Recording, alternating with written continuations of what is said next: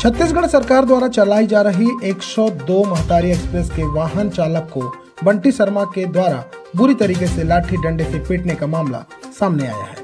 दरअसल बरियो प्राथमिक स्वास्थ्य केंद्र से डिलीवरी केस लेकर 102 महतारी मेडिकल कॉलेज अस्पताल अंबिकापुर ला रहे थे। इसी दौरान मेडिकल कॉलेज अस्पताल के सामने दवाई की दुकान के पास 102 वाहन महतारी एक्सप्रेस को खड़ी कर मरीज़ को एडमिट करने की तैयारी की जा रही थी। इसी दौरान मेडिकल दुकान संचालक द्वारा वाहन किनारे करने को कहा गया था। लेकिन 102 महतारी एक्सप्रेस वाहन धक्का छाप होने की वजह से वाहन चालक वाहन को जल्दी आगे नहीं बढ़ा पाया। जिसके बाद मेडिकल दुकान संचालक बंटी शर्मा, जो कि ब्लॉक कांग्रेस अध्यक्ष है, उसने अन्य साथियों के द्वारा वाहन चालक को लाठी डंडे से मारपीट कर गंभीर रूप से घायल कर दिया। जिसके बाद घायल वाहन चालक को तत्काल मेडिकल कॉलेज अस्पताल में भर्ती करवाया गया। हालत नाजुक होने के कारण उसे निजी अस्पताल में भर्ती कराया गया, जहाँ उसकी हालत गंभीर बनी हुई है।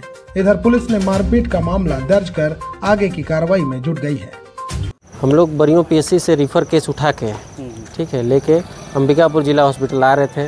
हम लोग की गाड़ी ख़राब था, ठीक है सेल्फ ख़राब था उस गाड़ी का।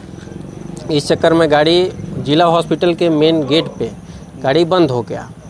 उसी कारण बंटी मेडिकल वाले जो मालिक हैं, उसके पूरे स्टाफ ठीक है, बंटी मेडिकल वाले मालिक सब लोग से पूछे, क्या हुआ? हम लोग बोले, गाड़ी ख़राब है भैया। ठीक है तो वो बात को नहीं सुने और फिर गाड़ी को मैं आगे ले गया बैक करके ला रहा हूँ तब तक कमल जायसवाल जो पायलट हैं 102 में जो गाड़ी चलाते हैं उनको बहुत बुरी तरह से मारा गया है। उनको डंडे से मारा गया है। एफआईआर के लिए बोले हैं कर रहे हैं एफआईआर। तो और कि, किस तरह से और क्या किस बात को लेकर मुख्य क्या बात रही कि इसमें जो इस तरह से घटना हुई सामने आई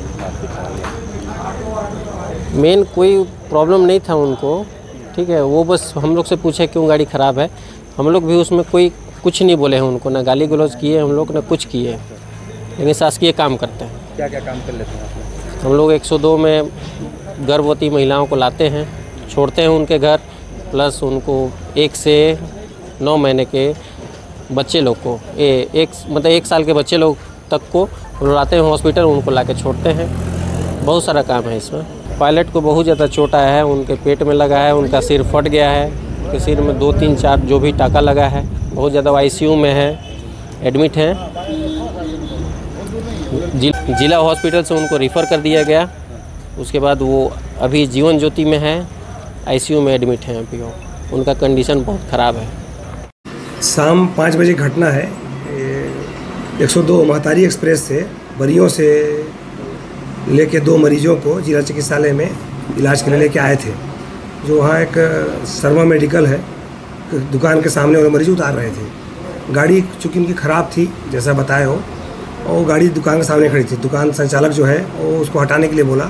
और उसी पर से कुछ विवाद हुआ, और उसमें जो है, उसका चालक जो महतारी एक्सप्रेस का था, उसको डंडा से लोग मारपीट किए हैं, जो शर्मा मेडिकल का संचालक है, उसका नाम बताया बंटी शर्मा, और उसके अन्य स्टाफ के द्वारा डंडा से मारपीट किए। उसको सिर में चोट लगा। वहीं तत्काल हॉस्पिटल में इलाजरत है। उसका जो सेकेंड साथी था टेक्नीसियन वो आके मेरे पास रिपोर्ट कल साढ़े सात शाम में किए हैं।